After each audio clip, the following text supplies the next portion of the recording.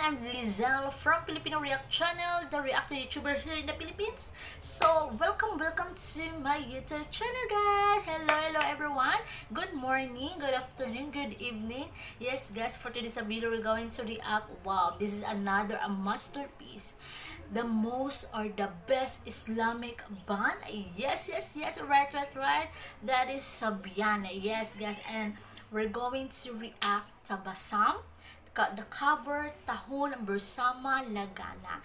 And wow, this is a new uh, masterpiece of, you know, Sabyan. So I'm super, super excited to witness, guys. Oh my god. And yes, if you're new to my channel, please don't forget to subscribe and click the notification bell.